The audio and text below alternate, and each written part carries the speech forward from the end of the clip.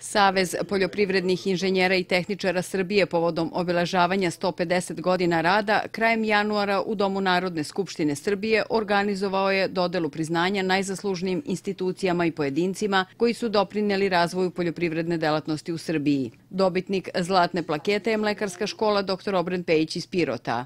Prema rečima direktora ove škole Nenada Đorđevića, čast je dobiti priznanje od najkompetentnijih koji daju svoj sud o doprinosu za razvoj hrane na ovim prostorima. Đorđević je istakao da je to priznanje svih radnika u školi. Veliko priznanje za sve radnike ove škole, za sve one koji su ugradili i ugrađivali deo sebe u ovu školu i načinili je onako kako ona dana jeste.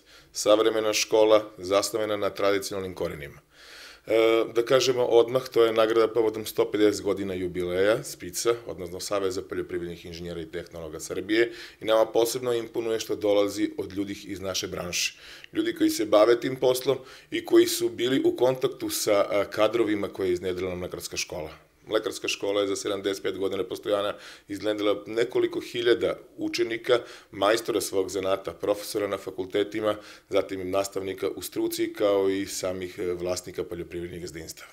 Đorđević kaže da pripremaju plan za školsku 2021. godinu za novi obrazovni profil u skladu sa dualnim sistemom obrazovanja. Najavio je i predstojeći seminar koji će biti organizovan u školi 21. i 22. februara u saradnji sa Savezom inženjera Pirotskog okruga. Dvodnevno savjetovanje namenjeno je e, širem građanstvu kao i svim e, inženjerima poljoprivredi. Teme će biti uvek aktuelne, agroekonomija, prehrambena tehnologija, kao i brendiranje proizvoda.